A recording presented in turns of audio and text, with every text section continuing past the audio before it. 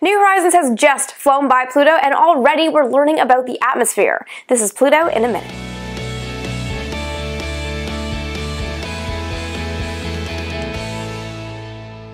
New Horizons studied Pluto's atmosphere using a method called a solar occultation. The spacecraft flew behind Pluto and measured the atmosphere using the ALICE spectrograph. Basically what that means is that the sunlight filtering through Pluto's atmosphere was absorbed at certain wavelengths given the gases that are in that atmosphere. Alice measured that absorption spectrum to tell scientists what exactly Pluto's atmosphere is made of. But not just what the atmosphere is made of, where those gases are in the atmosphere as well, and the results were a little bit surprising. Before getting to Pluto, New Horizons mission scientists knew that the atmosphere was made largely of methane and nitrogen. However, the initial results say that methane is actually found higher in the atmosphere than expected, and nitrogen is found a little bit lower than expected. What this means on the whole is that the atmosphere is a little bit cooler than expected, and because a cooler gas tends to contract, the atmosphere is a little bit less extended than scientists anticipated. This is just one measurement about Pluto's atmosphere from New Horizons. There is so much more to come in the weeks ahead. But in the meantime, for more on Pluto, be sure to check out the New Horizons websites, tweet your questions and join the discussion using the hashtag PlutoFlyby, and of course, come back here every day for more Pluto in a minute.